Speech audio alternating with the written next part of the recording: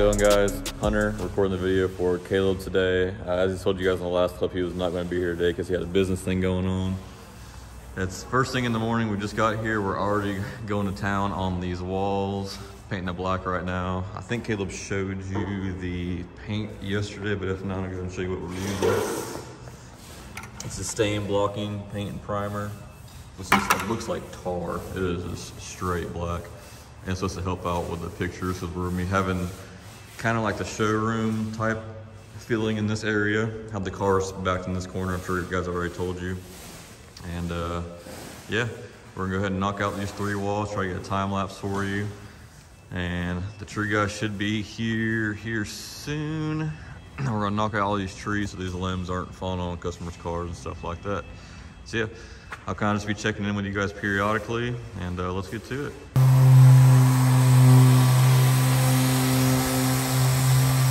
Electricians are here. We also have the tree service. Like I said earlier, they'll be tearing down some of these limbs.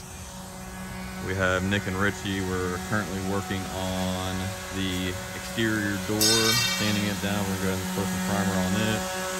And then electricians are back there currently. We're going to put some new fuses in.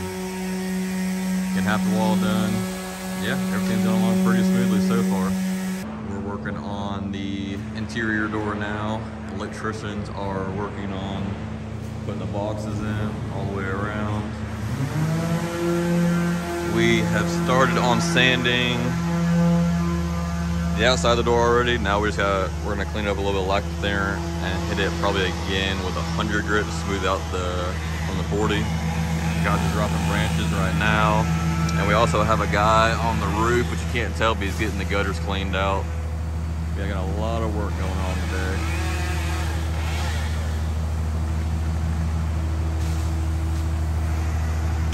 The guys are still working on the trees. We're actually taking out a few more trees than we originally planned. A couple dead ones. Steve's up top blowing all this stuff off the roof. And uh, unfortunately, we were in the middle of putting the primer on this one, and uh, he started blowing. But it's all good. We're gonna go ahead and try to re-sand it down. We definitely need all this stuff off the roof out the gutters. Yeah, they're working hard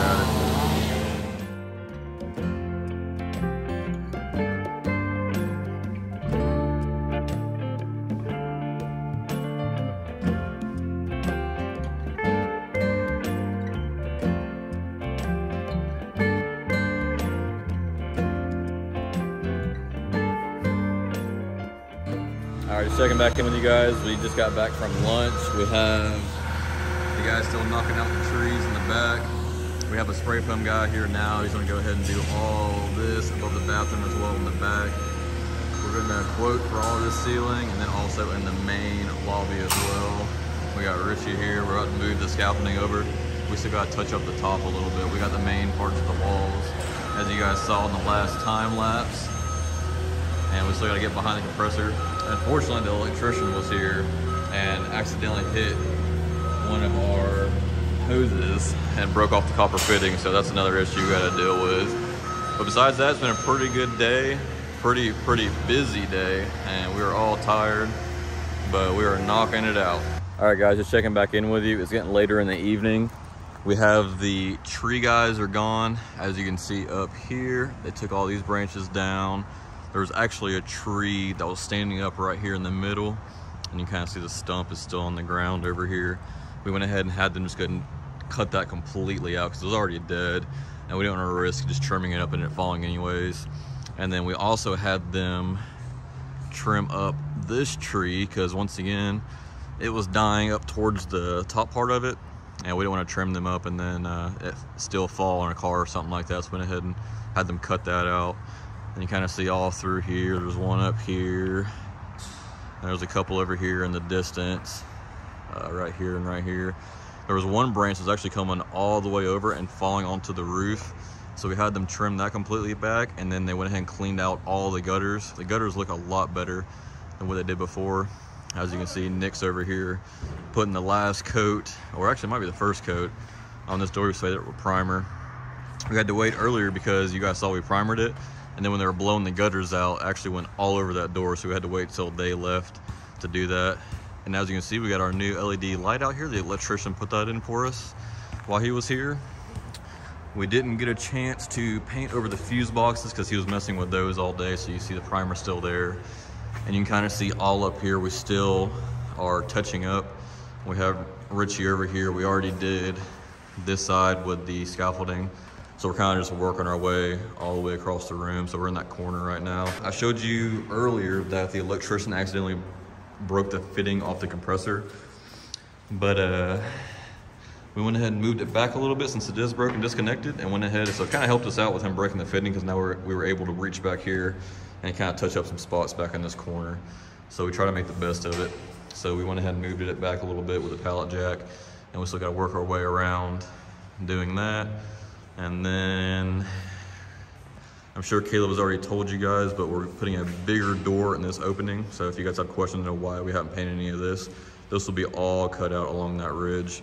So we got a little bit of black over here, and we still got a primer in this corner where that electrician was working, so we didn't want to be in his way, so we didn't touch any of that. Alrighty guys, so it's the next day. We're leaving Home Depot now. We had to come grab some scaffolding. I actually bought scaffolding this time instead of renting it because the one that they let you rent, the wheels don't freaking work, man. It's just a pain in the butt to deal with that one. It's just in really, really bad shape. So we bought scaffolding and eventually, I guess when we get done with everything, because we're gonna need it for the office space too, for the ceiling tiles, and also to paint the office. We're gonna need it anyway, so. And also bought an airless sprayer, a big sprayer. You guys kept commenting, you know, hey, they make big ones that are cheaper. Now, I didn't know they were, th they're not cheap, cheap, but I didn't know they were this inexpensive, I guess.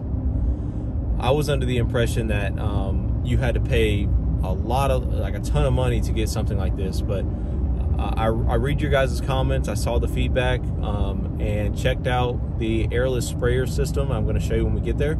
And we're going to use that to spray the um, rest of that four feet or whatever it is in the main or this the back shop area that we're working on painting that you guys seen the black being applied today.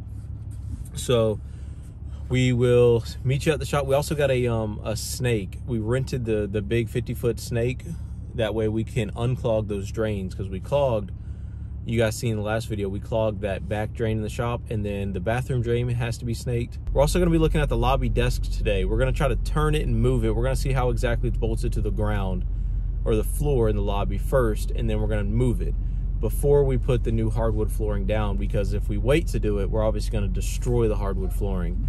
Also, the hexagon lights are in. They got delivered yesterday. I got a notification. So the hexagon lights are in. They're going to look really, really cool in that back shop area. So everything's coming together. We'll meet you guys at the shop. A ton of work should get done today. It's Sunday, though, so none of my guys are here. It's just me and my wife's dad. We're just going to try to knock out some ins and outs of the shop on the weekend, try to get some things done because we're a little behind, but we're still we're still looking good on time. So we're on track. We'll see you at the shop. Here's the drain right here that's clogged. So we need to get that done. Here's the scalpel thing we just picked up. It's on sale, by the way, if you want to go to Home Depot and grab you one. And here's the airless sprayer we just picked up. We got a 50 foot hose with it too, so that when our bucket is on the ground, this thing's pretty cool because it holds the bucket. See how kind of the bucket goes down there? This tube goes direct, directly into the bucket. Run your 50 foot hose. That'll allow us to get up to these top portions of the roof and not have to have the actual system on the scaffolding. We could just leave it on the floor because we got 50 foot of room and, you know, it'll make the process go a lot smoother. So thank you guys for the recommendation. I didn't know they were this economical or inexpensive. I figured they were way more expensive than this, so I, I thought it wasn't even an option, but this one was fairly, fairly decently priced. So check it out. If you got a big project like this, we're gonna get to work. We'll see you guys in a minute.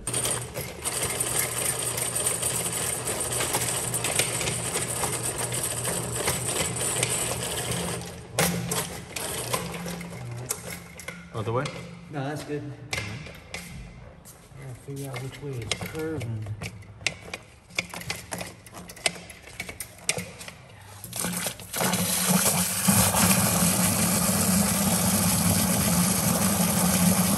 Draining now, boys.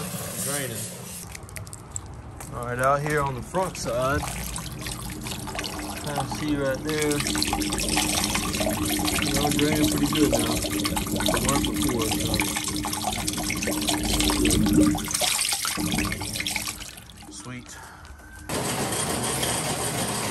Doing the bathroom drain now. Yeah, yeah. That stuff was in there. Alright, come back go ahead and heat it up. Alright.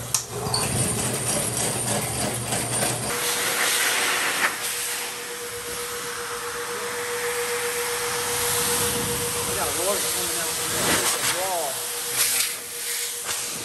prepping this area for some fast setting cement patcher because whenever we run our epoxy floor, running our epoxy floor here soon, we want the floor to be smooth. By the way, here I am setting up this scaffolding. We went and got another level to it so that we can paint easier. And we also got new door handles and locks for that door extension for the spray gun, an extension. And then we got a new exit sign to replace the old one. Working on getting this done, guys. Making some progress.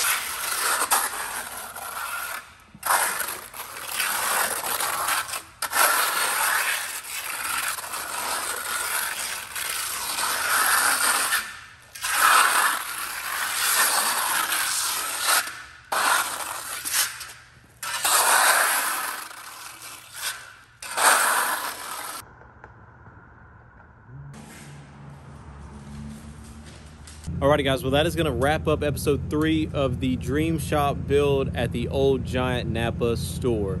Stay tuned for episode four. Should be dropping in one to two days. The last thing we did for the day, I don't think I showed it, but we rekeyed, or not rekeyed, but we put the door lock, the deadbolt, on the backside door.